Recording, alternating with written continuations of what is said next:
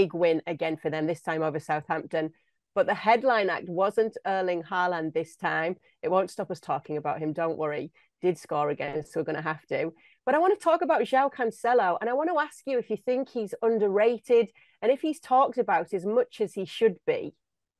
No, I think we talk about him enough. He's a great player. We all know it. Uh, I mean, he he you know he's the the most balanced defender out there in the world, right? I mean, obviously a right back that has played on the left hand side for the most part, and and has learned it to such degree that he actually is a better left back than he is a right back. No questions about that. I, I'm pretty sure even if you ask him where he'd prefer to play, he'd probably say uh, um, on the left side, and that's not easy, by the way. I've been a left back, and the adjustment is is is not as easy and something, right? I mean, in terms of defensive principles, is the same, but there's a different way you bring the ball um, out of the back, uh, obviously with uh, uh, with your weaker foot. So I think he's a tremendous player. Again, look, I mean, we haven't talked about Trent, who also got injured, by the way, and also struggled uh, as well a little bit. I mean, Cancelo is more comfortable going forward than defending. I guess he hasn't been under pressure to such degree as Trent in terms of his defending to really find out. Would have been nice to know what is, you know how Cancelo plays if Manchester City were attacked time and time again. Uh, but I still think he's a better defender than Trent. Uh, so no, he's not underrated. I think anybody that watches football uh, knows how good of a player he is obviously this City team is special. We just mentioned him. We mentioned Kevin De Bruyne on a weekly basis, and you've got other supporting cast members, Akanji, really standing out. I don't know if you saw some of the footage this week from Sky Sports of how good he is with his mental arithmetic. If you've not seen that, go and have a look on Twitter. It's incredible. You give him a multiplication and he can answer it like that. He's a smart guy. Uh, Phil Foden, just so many players doing bits for Man City, but let's do it then. Let's talk about Erling Haaland another goal from him. We already talk about the insanity of these numbers every week. So let's just get your thoughts, Janusz, on his latest display because I was getting worried there. It was like, I don't know, a 79 minute goal drought from goal to goal for Erling Haaland. I mean, look, uh, it, it's it, it's sometimes you know it's almost like you know I say it's stupid to to to watch what he's doing. It really is because you know he's going to do it. He does it even if you don't see him. I mean, obviously this wasn't you know his best game. If you look at his numbers and the way he played, it doesn't have to be. He got his goal, and by the way, that goal was special. I mean, if you look at the one-two uh, uh, on on the was it Cancelo, I think with the, with De Bruyne, uh, uh, uh, it was it was incredible. Uh, and you know, the first time finish, by the way, not all that easy. That ball came quickly at him, you know, and and you know, technically absolutely superb.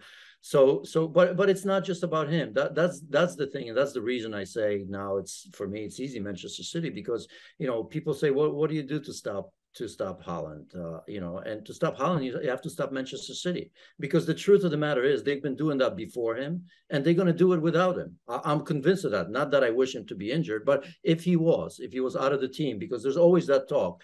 What happens? We we know his injury problems at, at Borussia Dortmund, especially in that last year, and obviously, again, I don't wish him that. But if he's not playing, say for four or five or six games, nothing changes. You know, you don't think they miss him with what we've seen so far? No, no, I don't think they will miss it. Look, I mean, the way they play right now, Robert Lewandowski scores every one of those goals just about that he does. Harry Kane scores every one of those goals uh, so far, right? So again, I'm not diminishing the fact because ultimately at his age, so young, the potential is to be way better than Kane. They're, they're, not in that team, and when those players are out of their team, you do notice it. Well, well, I, I no, I, I don't remember last season. I mean, how many how many Premier League titles have Manchester City won, uh, have won? And last season, no Haaland, no problem. False nine. There's zero zero issues for Manchester City. Now you could say maybe they're not winning those games three three or okay, four. So, so why have him? Why why why why even get a player like him? No, because he take he takes you over. He assures you that result. He assures in some of those games that there is no drama. But again, Manchester City are the champions without him. We were worried about what's going to happen when Kun Aguero is not there. It wasn't a, a, big issue. Yeah, we've talked about yeah the false nine doesn't always work. I think I think the bonus with him may be in Europe, but my point is that rather than thinking about Haaland alone and making it that look at Manchester City and look at Haaland, no, Manchester City would win the Premier League without Erling Haaland this season, just as they did last season. I, I, I no questions in my mind. Eh, but is that just because of what's going on elsewhere? Well, I suppose there is Arsenal, right? Well, I mean, look at Phil Foden you just mentioned. I mean, he's he's getting better with every game, right? De Bruyne is an inc- incredible player. Yeah, goal share, shared around again. Last week, remember, we've said I, I kind of bit of a warning, not even a warning because it's easy to see. I said, wait till Riyad Mahrez starts playing, and of course, he did score out an assist. I think, uh, you know, those players just again, if you look at the true depth in talent for Manchester City. You know, you just mentioned Akanji. I, I mean, come on. I mean, it was a, Akanji was playing a right back.